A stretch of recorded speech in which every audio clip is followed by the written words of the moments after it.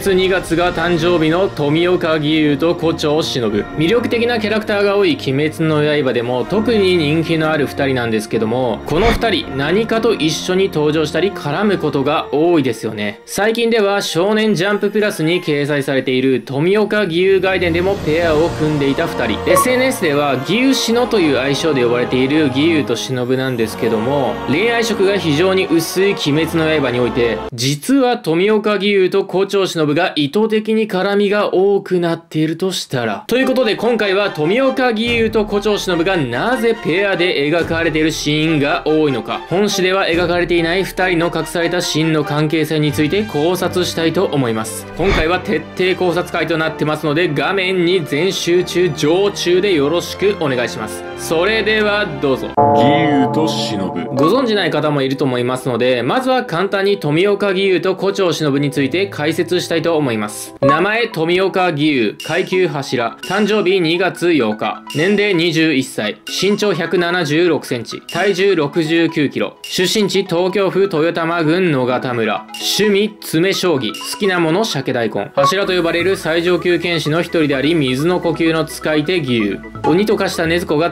炭治郎を襲う現場に現れ、問答無用で禰豆子の首を跳ねようとしますが、自分と差し違えてでも妹を守ろうとする炭治郎と、その兄をかばう禰豆子の姿を見て刀を引きます。美目修霊冷静沈着。さらには10代にして水の呼吸を極めた絵に描いたような完璧な美青年なんですけども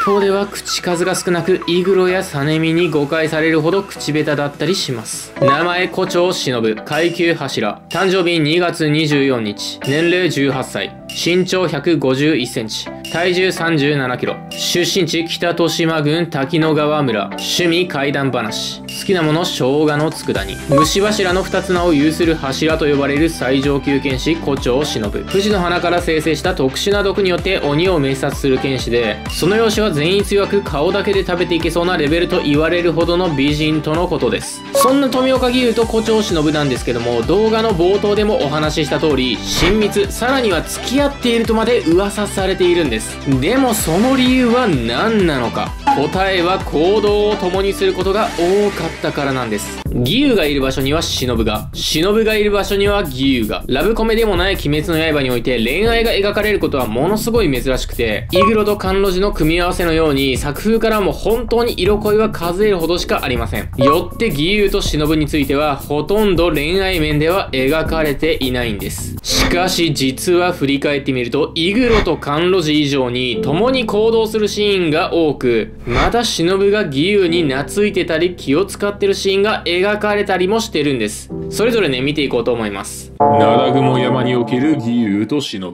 まずはですね、義勇と忍といえば、灘雲山編です。十二気づきがいるとの情報が入り、義勇と忍は親方様から命じられ、灘雲山に派遣されます。しかし、到着後、義勇が禰豆子を生かしたことを知らない忍は、禰豆子を鬼と認識し、すぐさま切りかかります。これは義勇に阻止されるんですけども、鬼滅の刃史上屈指の名シーンがここで飛び出すんです。禰豆子をかばう義勇に忍はこう発言します。鬼とは仲良くできないって言ってたくせに何なんでしょうか？そんなだからみんなに嫌われるんですよ。これに対して義勇はこう言い返します。俺は嫌われてない。ちなみにですね、忍が言うみんなの中には忍自身は含まれていないと思われます。中合会議。続いて中合会議のシーンです。義勇と忍は灘雲山から帰還後、鬼殺隊本部にて中合会議に参加します。そして中合会議では炭治郎と禰豆子をかばう義勇は、タイの規則を重視する他の柱たちと対立しますが、忍はどちら側にもつかず仲裁に入るような形で会議をまとめていきます。そしてですね、最終的には忍が炭治郎を超屋敷に受け入れたこともあって、ある意味義勇を助けた、フォローする形となりました。柱稽古前の会議。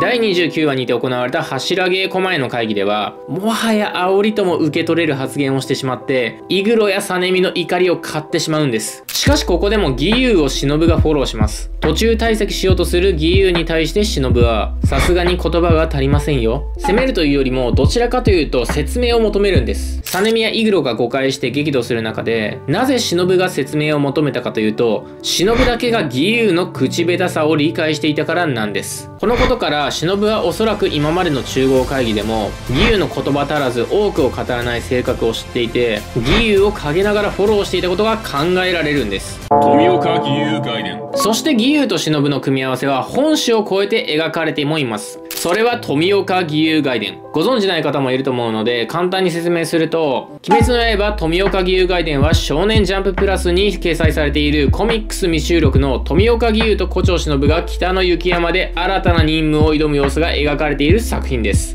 閲覧期間は2020年2月23日までとなってますので、もし興味ある方は調べてみてください。そしてここから先は富岡義勇外伝のネタバレになりますのでご注意ください。富岡義勇外伝は義勇が炭治郎と初めて出会ってから少し経った頃のお話です。任務のために訪れた北の宿場で殺人の容疑をかけられた義勇と、薬の買い付けに来ていた忍が偶然遭遇し、二人がマタギの娘八重と知り合うところから物語が始まっていきます。忍が口下手な義勇をフォローしたり、戦闘では義勇のサポートに回るなど、本編では見られない二人の共闘シーンだったり、揃って仲良く食事するシーンなんかもあったりたりします。作品自体はね、とても面白くて、鬼滅の刃って感じなんですけども、本誌では見られない忍と義勇のお似合い感がものすごい溢れ出てる雰囲気になってたりします。という感じでですね、義勇と忍についてのシーンを話してきたんですけども、実はですね、炭治郎と柱一人一人の絡みはあっても、柱同士の絡みだったり、戦闘でペアを組むシーンって実はね、本誌でそこまで多くなかったんですよ。ちなみにですね、今までの柱同士で組んだペアを見ていくと、灘雲山で富岡義勇と胡蝶忍、富岡義勇外伝での富岡義勇と胡蝶忍、無限城でのイーグルオーバーナイト甘露寺光、無限城での品津川実美、時藤無一郎、姫島行明。こう見ていくとね、戦闘においても、戦闘以外においても、胡蝶忍が最も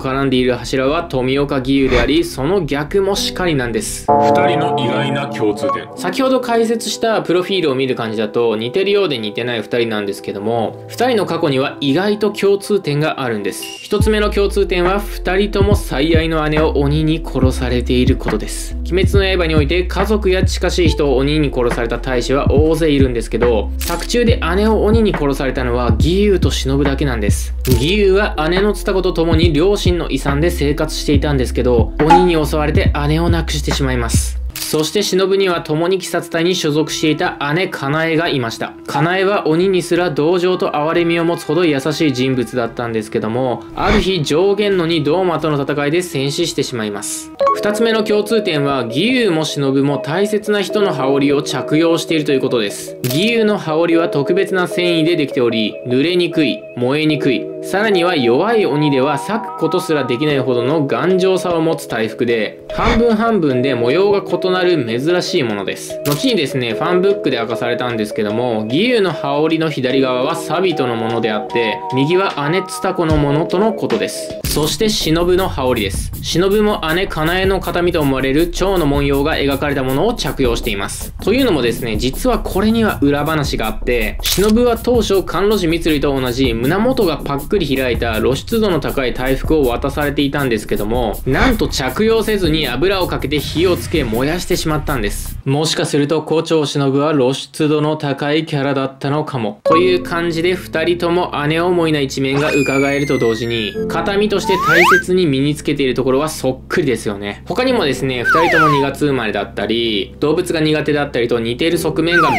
ちゃめちゃ多いんです。単行本5巻のおまけページの謎。そして何よりもも義勇と忍の関係を決定的にしたのが単行本5巻のおまけページです単行本派の方はご存知だと思うんですけども単行本5巻のおまけページでは2人の近い距離感を感じられるシーンが描写されているんですその描写をですね説明しますと忍が義勇を指でツンツンしながら「ねえねえ」と絡み義勇がそれをスルーするカットとなっていて忍が一方的に義勇に懐いている感じが見て取れますしかも忍は普段義勇のことを富岡さんと名字で呼んでるんですけども、このシーンではこう呼んでいます。義勇さん。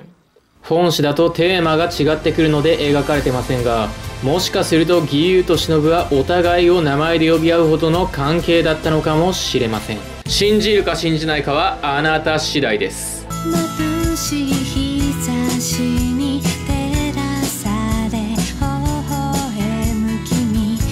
つしか